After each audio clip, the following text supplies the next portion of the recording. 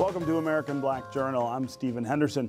Research shows that legacy planning within black owned businesses lags behind that of other cultures. Unlike Jewish, Asian, or Caucasian business owners, African Americans are less likely to pass the baton to the next generation. My first guests today are defying that trend. Bernard White is the founder of White Construction. A new book traces his company's legacy as one of the nation's largest African American owned construction companies. His oldest son has now taken on a leadership role in the business. And James and Elizabeth Mays are a father-daughter team heading up MCS Multimedia, formerly known as Mays Printing. The company was originally founded by James's father, Jay Carlton Mays. All of you, welcome to American Black Journal. Thank you. Thank you. Yeah, so uh, let's start with this idea of passing the baton uh, from one generation to the next and why that's less likely to happen uh, with, with African American businesses. It's very important, as you know, Stephen. Uh, you know, as you may know, uh, only about 30% of the companies are passed to the second generation, and maybe about 10% are passed to the,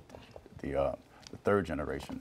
So my goal is to pass it on to my son, Donovan White, who's 38 years old. He's been working in the company for 20 years. He's doing a great job. He's gotten a, great deal of experience. Just came off the new um, Little Caesars Arena -huh. in, a, in a leadership role. So I'm doing everything I can to support him going forward so he can, uh, you know, keep the company going. But I'm beginning to rest, but I will still be, be there to help support him and lead him. Uh, in addition to that, to uh, support my legacy, I've, uh, I've penned the book White Construction, An American Story, built in Detroit. The Mays Printing Company, of course, printed the book, and also Don James was our writer. And, and the reason why I did this was to to document our history. It's a pictorial representation of all the uh, various projects that we've had uh, an opportunity to work on in the city of Detroit over the last 29 years. And I think a lot of people will be very surprised to see some of the things we've worked on. And I did it because I wanted to make sure I didn't depend on Google and or Wikipedia to tell us, you know, what white construction to tell is. your story. Exactly, right? in 15 or 20 years. And hopefully some, some kid, African American, uh, male or female, may look at it and, uh, and, and become inspired such they could pursue their dreams after reading my story as to what I did to get where I was. So yeah. I'm very proud of that. And in fact, you can you can purchase the book on the uh, the www.educationfoundation.org website. Uh -huh. It's for sale for 55 bucks, and all the proceeds go to the W. Bernard White Education Foundation.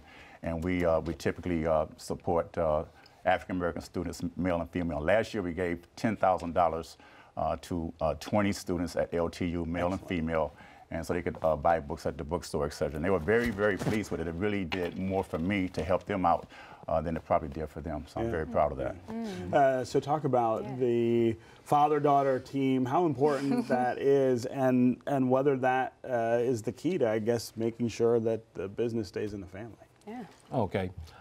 Uh, back in 1946, my father was a Tuskegee Airman. -huh. after he was discharged, from the United States Army Air Force, he, he migrated to Detroit, mm -hmm. Michigan, where he started the uh, Mays Printing Company.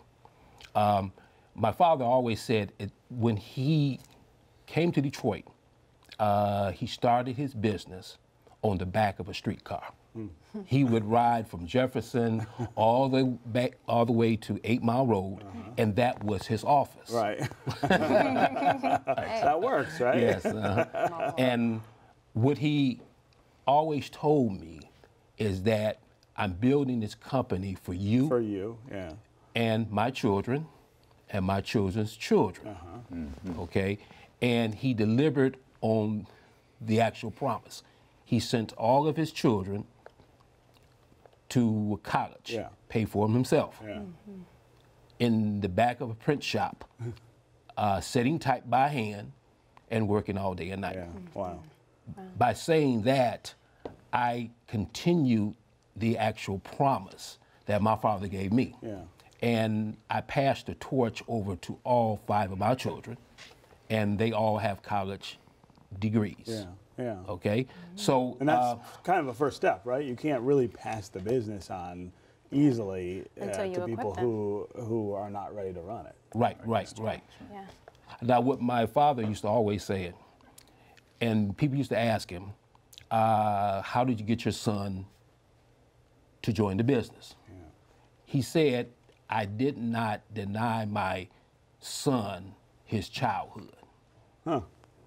I let him play baseball. Yeah, yeah. Go to the YMCA, swim, Boy Scout, Cub Scout, like and etc.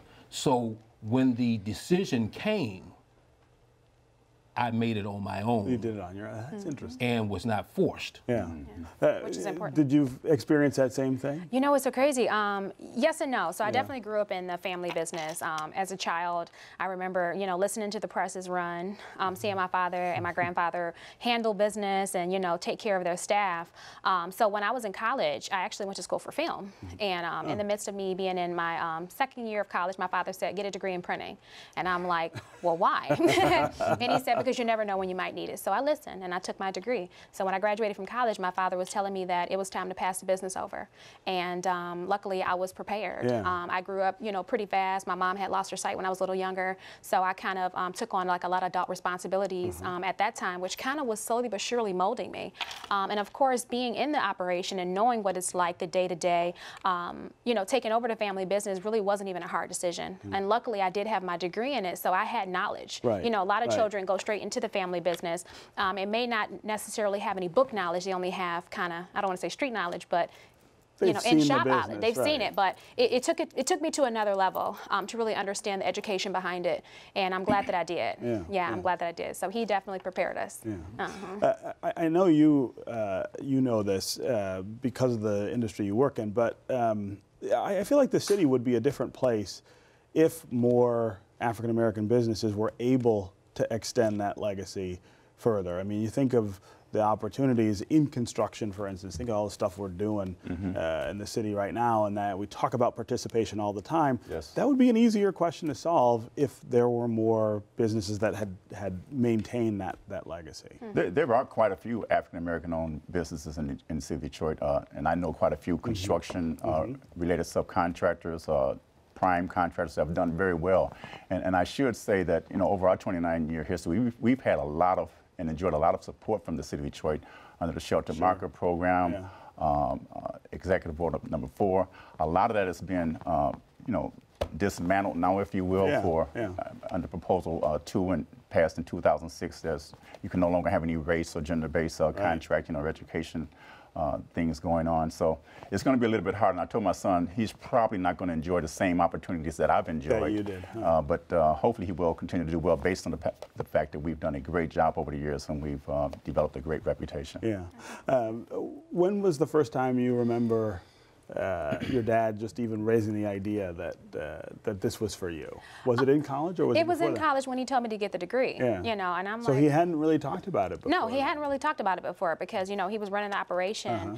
and you know doing a you know a fantastic job at that. So when I did graduate from college and I started to actually work a little bit more in the family business more full time because I didn't have to be in school, um, I think he started to see some things in me that I didn't necessarily see in myself. Yeah. And I've always had leadership roles um, throughout my entire life and have always been very confident in doing what I believe I can.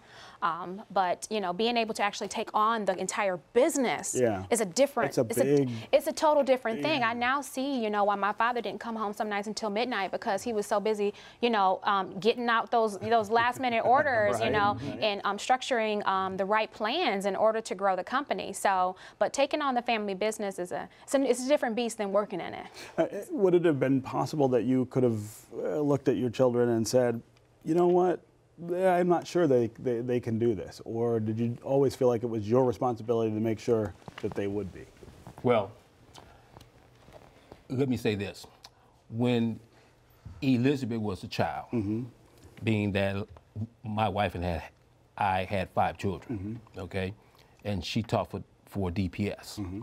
What I did each morning, I would take Elizabeth to school before I went to the office. Yeah, yeah. Okay, and at 2:30 every day when she was a child, I would pick her up. I would bring her home. Yeah. And at that time, we did have a big printing plant, and then I did have my main office there, but I kept an office at home. Okay.